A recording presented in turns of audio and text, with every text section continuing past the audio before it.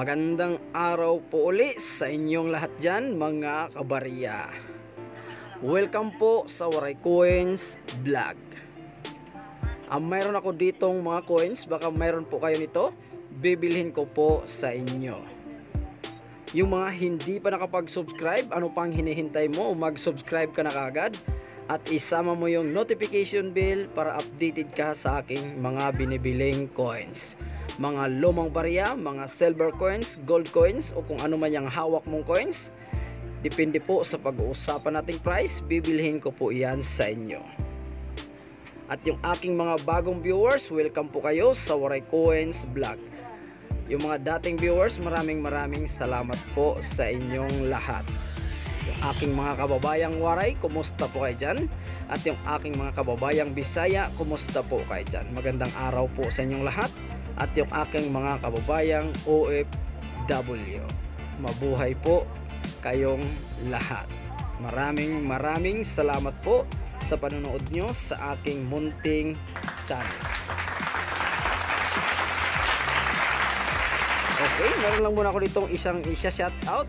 Shout out kay Andrian Balangi and kay Michael Panti from Pitpitan, Bulacan. Maraming maraming salamat po sa iyo boss sa panonood mo.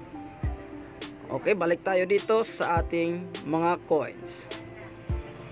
Liberty Coins 1965 In God We Trust May price po itong 100 each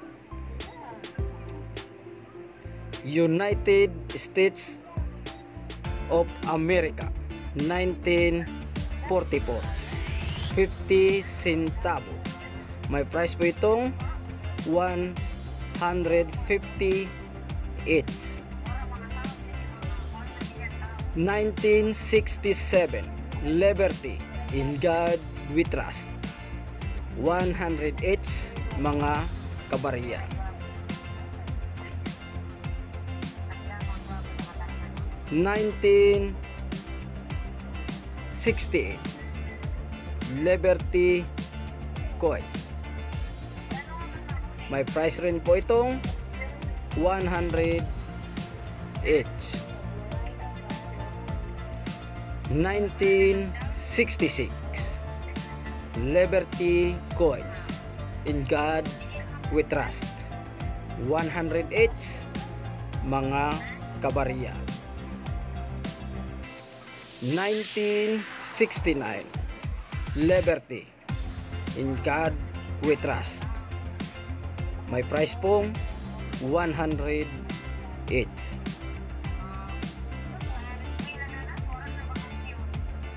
On piso or UN piso.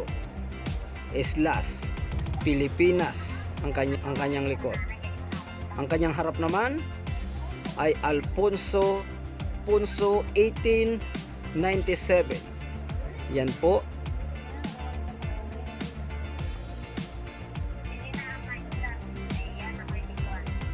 One penny 1967 may price po itong 150 each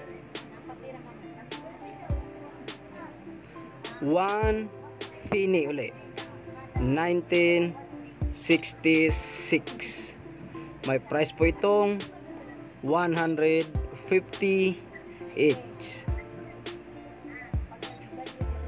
1 penny ulit 1965 may price pong 150 each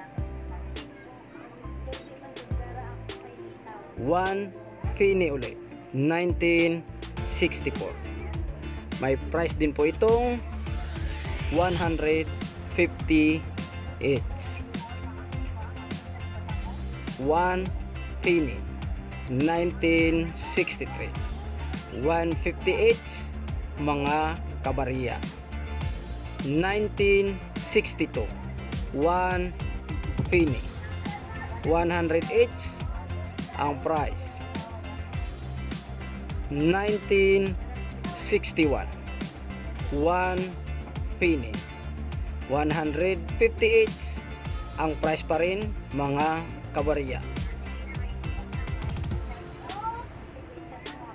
At meron pa ditong isa. Australia 1953 penny. May price po itong 90 each. Australia ulit 1952 penny. May price po itong 90 each.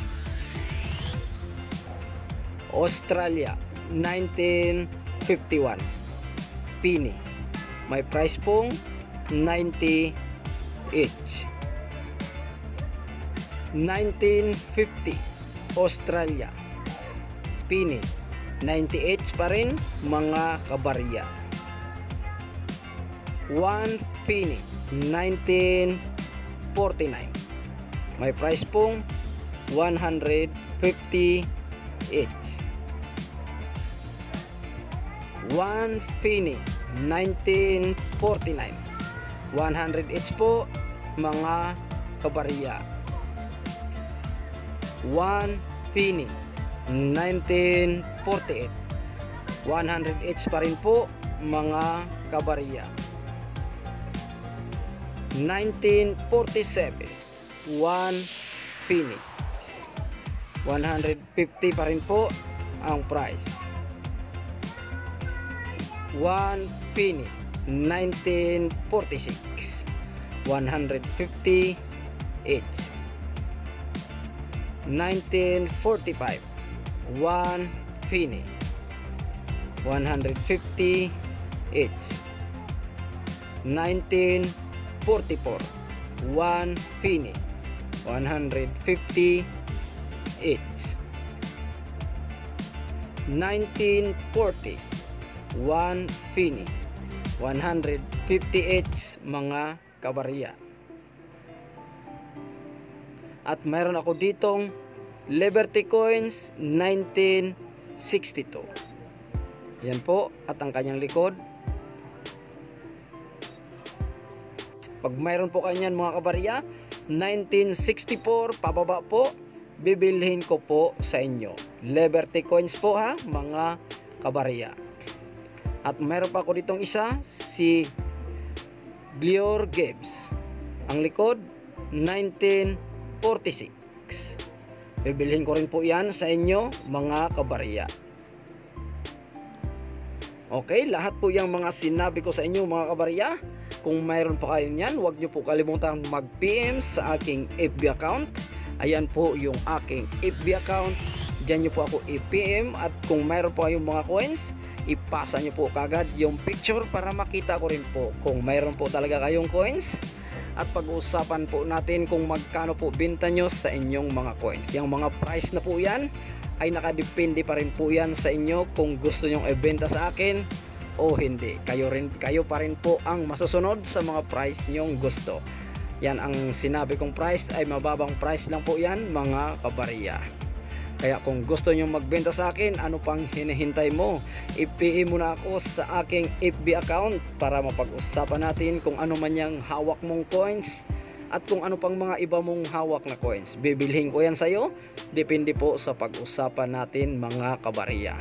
Yung mga hindi pa nakapag-subscribe, ano pang hinihintay mo? Mag-subscribe ka na kaagad at isama mo yung notification bell para updated ka sa aking mga binibiling collection. At gusto ko munang mag-thank you. Binili kong 25 centavos. Ayan po yung aking biniling 25 centavos. Tatlong 2005 at saka isang 2008. Maraming salamat sa iyo, Clay D. Taya. Yan po yung kanyang 25 centavos. Dati po ay wala po ako niyan kaya hindi ko mapapakita sa inyo. Ngayon mayroon na po. Pag mayroon pa rin po kayo niyan, bibilhin ko pa rin po sa inyo. Okay, maraming maraming thank you po sa inyo. Mag-subscribe na kayo agad at isama mo yung notification bell para updated ka sa aking iba pang binibiling coins. Yung mga viewers ko dyan, maraming maraming thank you po sa inyong lahat. At yung mga nakapag-subscribe na, maraming thank you po uli sa inyong lahat. Goodbye po sa inyong lahat. Ingat po tayong lahat dahil hindi pa tatapos itong ating kumakalat na virus COVID-19.